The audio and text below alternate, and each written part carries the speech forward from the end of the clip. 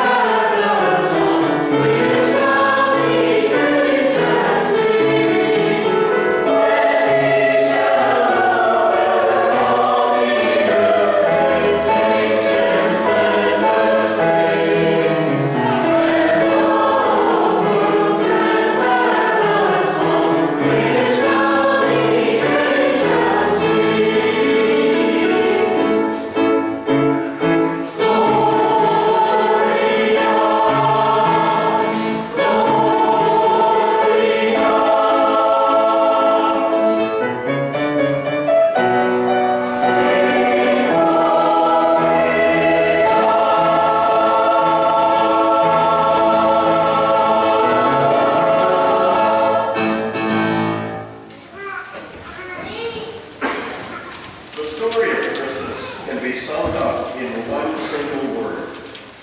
Jesus. Jesus, the author and finisher of our faith, the Alpha and Omega, the beginning and the end.